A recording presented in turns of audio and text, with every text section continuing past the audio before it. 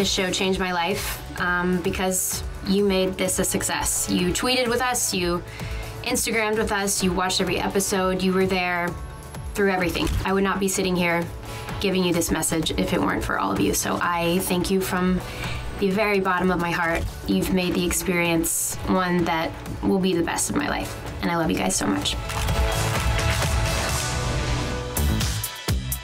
Remember when you were a total bitch to us? Yeah, yeah. What are you doing here? Yeah.